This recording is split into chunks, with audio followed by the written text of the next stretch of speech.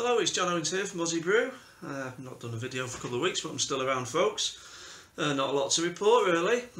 Um, but I will report that I uh, got one of these very nice looking beers, the Wychwood Fire Firecatcher. That was a pound at um, somewhere. Where was it a pound? At a local um, place that sells beer. pound a bottle. Yeah.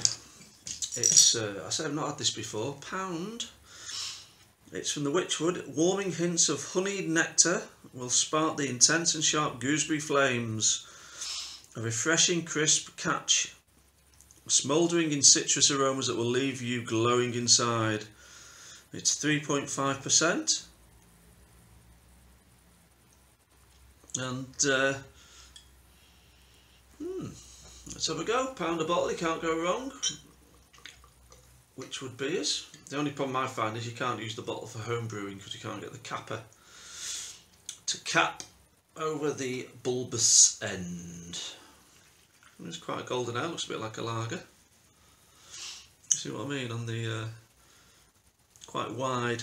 So if you're thinking of investing in some Wychwoods to drink, obviously, but to use the bottles for home brewing, well, with the type of capper I use, you can't do it. I'll just show you the type of capper. You can probably use other cappers. But this type of capper, it catches when you're trying to, uh, when you are trying to cap on one of these Wychwood bottles. No goody, unfortunately. Let's have a taste of this. Looks nice, nice and clear.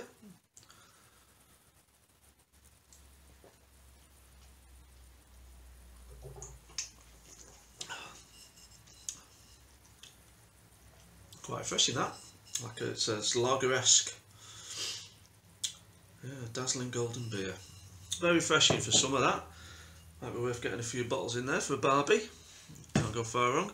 What have we been up to? Right, I've been uh, brewing my uh, Muntons. I don't know if you can see that. The uh, Continental Pilsner, the Muntons Continental Pilsner. Been in the FV for about uh, five or six days at uh, 18, between 18 and 20 degrees, and uh, I believe it's uh, it's a good kit. It's a two can kit that I got from uh, Creation Homebrew. Um, I think they've still got some kits left and the website's still going there for at least a few days I think. Uh, very good. And what I'm going to be doing is I'm going to be doing a dry hop with some Saaz hops. Homebrew UK got these from. Now these are leaf hops. I thought I'd got pellets but uh, I've got leaf hops 100 gram bag. Uh, 2015 harvest. What I'm going to do in a few days is throw about 25 grams. I did a bit of a asked a question out there on the Lakey Bloke on the Lakey Bloke forum and a few other forums. What's a good um, amount to dry hop uh, a lager kit with? With before you go over the top and uh, to give it a tweak and uh, 25 grams was the uh, resounding answer. So there we go. 25 grams of Saaz will be going into the Continental Pilsner. Excuse me. I also got some more hops when I was at it. I got some Cascade pellets. And I got some Columbus. And uh, what I'm going to do, I've got another one of the uh, Cooper's IPA kits which are absolutely fantastic for tweaking. Uh, I've got some Falconer's Flight hops, hop pellets left but not a lot so I'm going to do a uh, I'm to do throw some hops in a mini boil of DME with that kit probably some Falconer's Flight and then I'm going to do some more hopping and some dry hopping using some of the Columbus and some of the Cascade and uh, I'm pretty sure that will turn out nice. What else has been going on?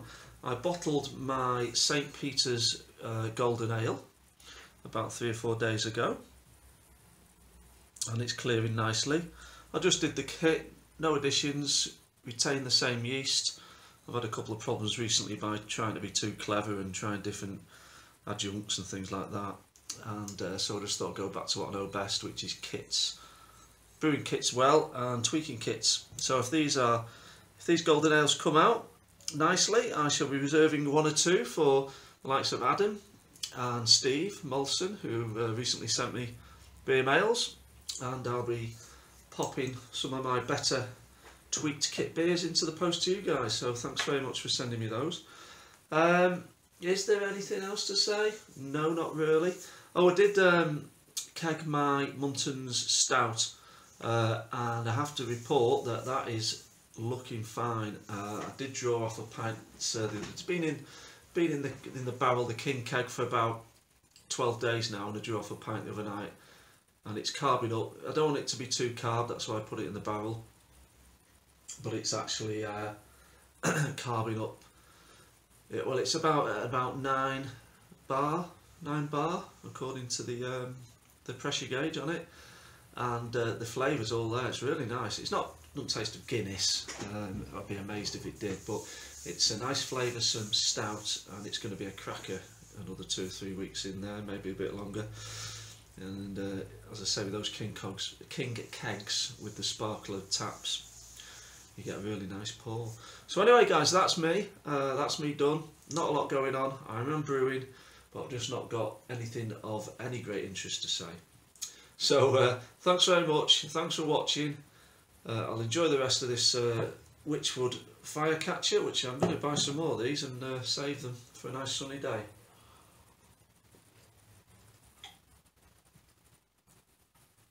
They, that is a nice beer. Very nice. Anyway, cheers guys. All the best.